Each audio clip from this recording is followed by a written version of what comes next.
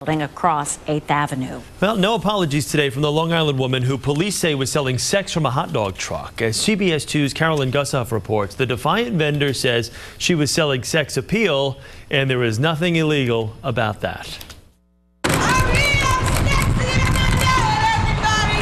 The so-called hot dog hooker is making no apologies for selling sex appeal from her vending truck.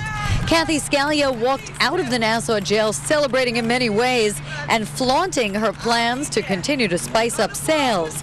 But she says she is no hooker. I don't think indecent exposure is prostitution. I don't see it.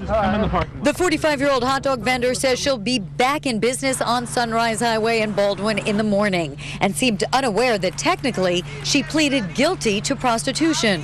She did in the allocution say she was stripping, but then when the judge asked her for clarification, she did say that she engaged in prostitution. The East Rockaway mother of four was arrested last week accused of adding a little too much relish to her hot dog sales. Nassau police say she was also working as a prostitute. Prostitution is sex. Listen, I'm Sister Teresa over here, okay? Showing your cleavage is indecent exposure.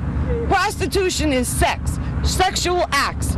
Scalia was sentenced to seven days in jail, four of which she already served. The short sentence contingent on her getting a psychiatric exam, but it placed no restrictions on how she sells her hot dogs.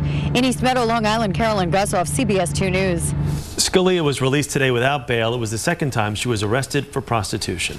Lonnie Quinn now here with the forecast and a cloudy day, kind of cool. Kind of cool, kind of damp out there right now. We are seeing, seeing some rain.